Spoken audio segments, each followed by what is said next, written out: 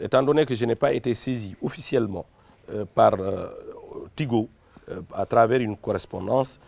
par rapport à cette vente, je ne préfère pas me prononcer là-dessus, mais je dois dire que si tel est le cas, le Code des télécommunications dispose des moyens nous permettant de réaliser cette opération si vraiment nous avons bien sûr l'accord des autorités. Parce qu'il faut savoir qu'en ce qui concerne la cession de la concession, la condition sine qua non, c'est l'approbation des autorités, c'est-à-dire l'approbation de l'État du Sénégal.